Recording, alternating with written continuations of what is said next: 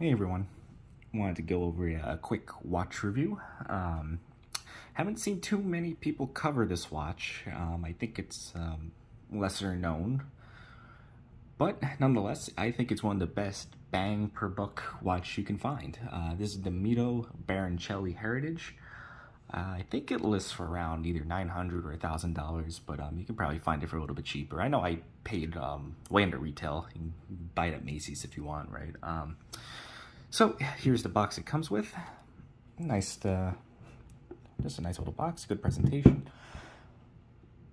And this is the rose gold variant. It's uh, stainless steel. Otherwise, this watch would be extremely expensive. So here's the watch.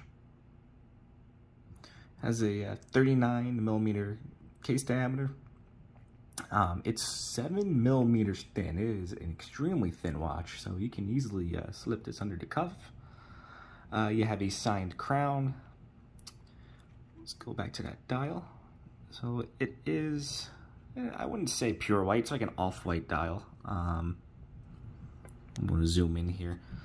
So the hands are very interesting. I love this detail here. So as you can see, half of the uh, sword hand there is kind of this brushed effect, where the other half is this polished. So when you, it plays with the light very nicely there. Great attention to detail. Uh, you have a blued second hand. Um, I think that might be real bluing. I don't think that's paint. Um, I could be wrong. Let me know in the comments if you know, but uh, definitely nice blued second hands. Um, you have a printed dial. All the indices and all the text is all uh, print and it is a little hard to show on camera, but it is a textured dial, almost like an eggshell kind of texture. So you, um, yeah, it's kind of hard to pick up, but it's definitely not a flat off-white dial. There's a little bit of grain to it.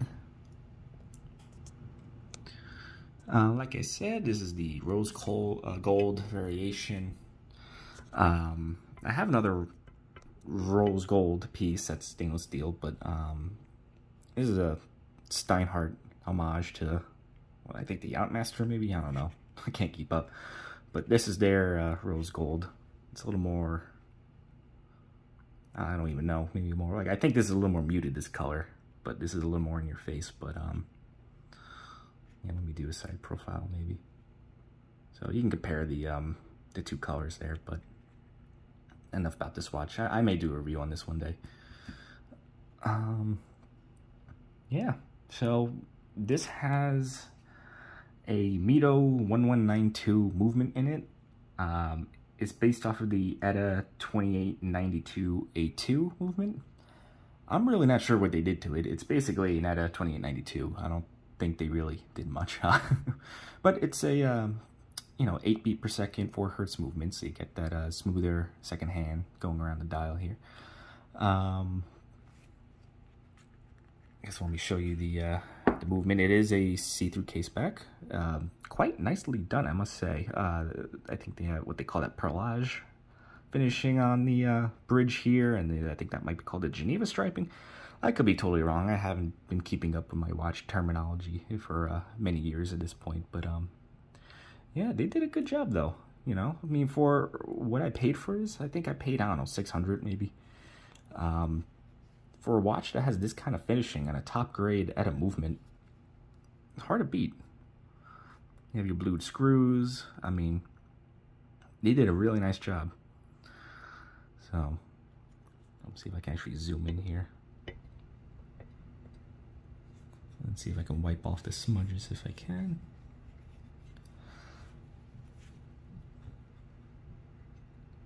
Uh, yeah, very nice. I'll show you the other side. Very nice.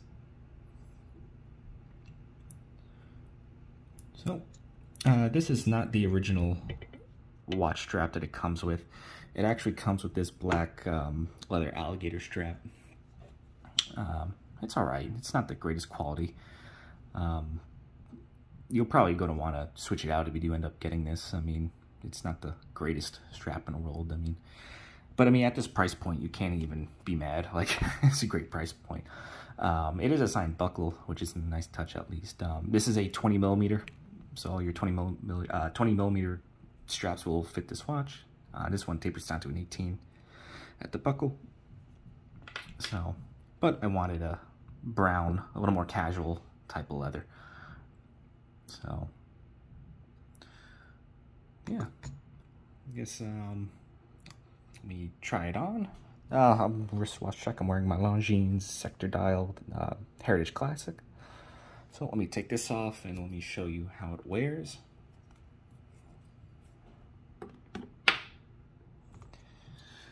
I may do a review on this watch too one day. This is a beautiful, simple watch, but I love it. But um, all right, let me put this on.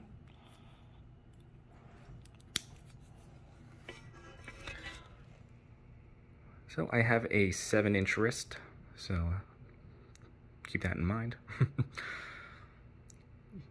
I mean, it fills out my wrist perfectly. I mean, it's a little large for a dress watch, but uh, any larger, I think would be too much. But at 39 millimeters, I think uh, this is the cutoff. This is the largest I would go. But again, what I want to emphasize, look how thin that is. That is just ridiculous, you know.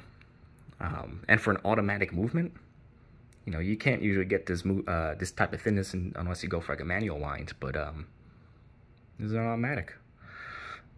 You know, and uh, forgot to mention this is um, a hand winding crown as well. You can hand wind it. Um, it has hacking, so you can stop the second hand and then you know change your date. But yeah, very uh, very beautiful watch.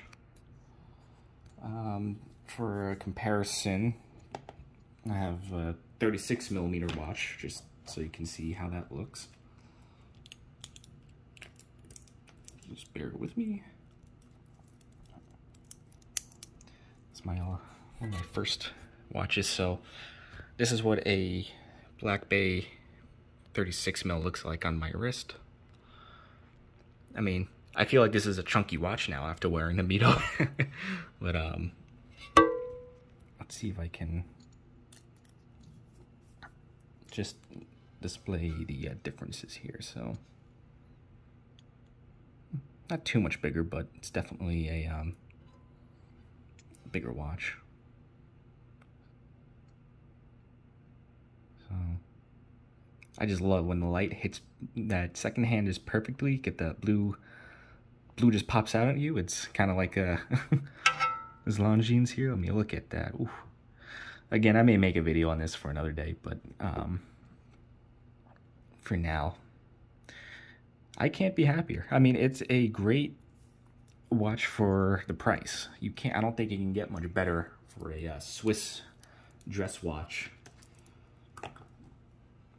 without going into like the uber expensive range, like a JLC or a Patek, right? So they're, uh, I think they, they hit a home run with the um, the value here. Again, I just love that those sword hands and that detail. Oh, uh, here's a good view of the uh, dials. That's that's what it looks like. This kind of this eggshell textured dial, but that polish on the hands and the brushed.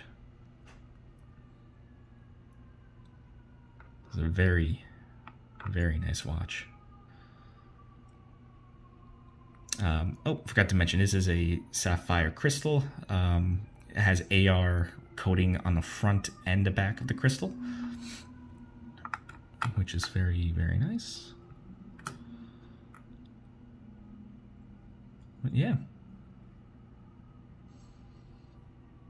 Very, uh, very nice watch. Well, uh, have any questions, you can leave in the comments. I'll monitor them from from time to time and try to answer them. Huh, I guess it is a 21 jewel. Just noticing that now. But oh, yep. Like I said, any questions? Let me know. Hopefully, this gives you an idea of uh, what the watch looks like and how it wears. And yeah, I would encourage everyone go to your stores, try it on. It's nice. Very, uh, very beautiful watch from a brand that's not that uh, common, at least in the watch community world here. I mean, I haven't really heard of Mido before I found this watch, so this is a good entryway to the brand. And they, they have other models too. Uh, they have a stainless steel one that's silver, so you don't have to go for this rose gold if you don't want to. And they may have an actual normal yellow gold, but I can't remember. It's been a while. so, yeah. All right, thanks for watching, and uh, see you on the next one.